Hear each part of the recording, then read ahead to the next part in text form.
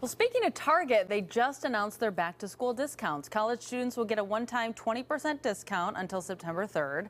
Teachers can get 15% off supplies between July 17th through September 10th.